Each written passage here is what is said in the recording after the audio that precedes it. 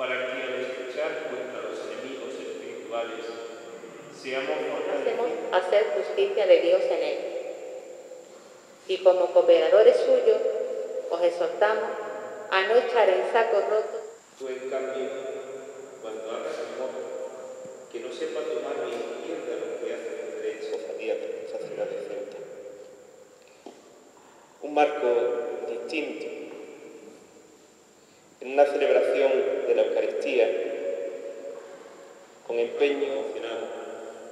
El primero, ese incendio que ha tenido lugar en esta pasada madrugada, en ese matrimonio que ha manifestado eh, el final de la cuaresma.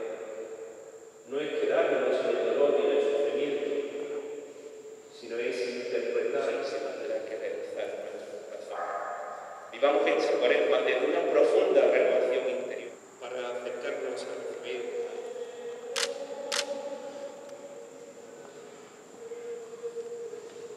En estos momentos tan difíciles que estamos viviendo a nivel mundial, como consecuencia de esta pandemia, bueno, lo hemos oído esta noche varias veces, desgraciadamente es así. Todos sabemos que vamos a tener una Semana Santa distinta y por tanto me sugieren que el cartel no se centre en la medida de lo posible en ninguna hermandad en concreto, sino que sea quizás más genérico, ¿no? Y que de alguna forma se salga de algo de, lo más tradicional de otros años.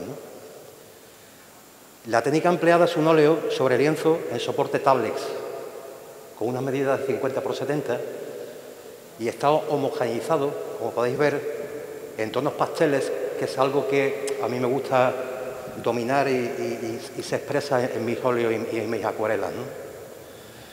He querido representar a todas las hermandades de pasión a través de, de donde estamos, de la catedral, por ser el verdadero punto de referencia de nuestras procesiones, ya que este año, y como el pasado, no pudimos salir de catequesis a la calle, que es como yo digo, ¿no?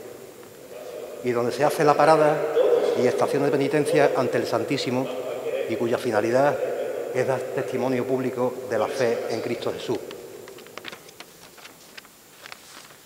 Al propio tiempo y entendiendo que la propia catedral simboliza la iglesia en el cielo, este cielo, como veis, lo he sustituido por el techo del altar de nuestra patrona, donde figura la gloria que encarna el misterio de la Santísima Trinidad.